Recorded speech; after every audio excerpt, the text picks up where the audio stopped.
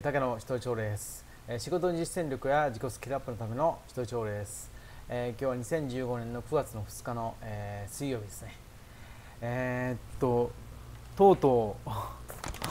五輪のエンブレム撤回ですね。もうどう考えても撤回するしかないと思うんですけどね。あのまあ新国立もそうでしたけど今のパターンで見たらここまで来るともう撤回するしかないのないと思うんですね。基本ね。あのやっぱりエンブレムにしろこ、えー新国際にしろ世界的なあれじゃないですか。だから大きくなるんでもっと早い段階から撤回した方がいいと思うんですけどね。やっぱり何でもちょ物事ってなんかそういうまあこういう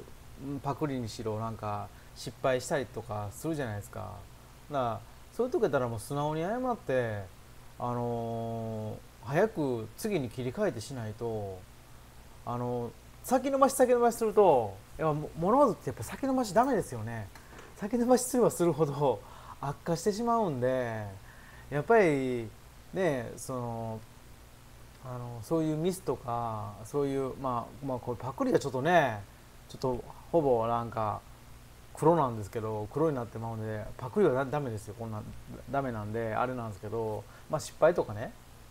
やったらあのまあまあ本人はする気なくて、ね、失敗するわけだからそんなんとかやったら素直に謝ってやった方がいいと思うんですけどね。そうしてあの一からやった方が早く終わるんでこれ多分かなりのあの要は長いえ1ヶ月か2ヶ月は長引いてますよね。長長引いた分の賠償問題とかでかくなると思うんですけどね。もう赤さからだからまあこれ見て思うのはやっぱり物事ってすぐにやっぱり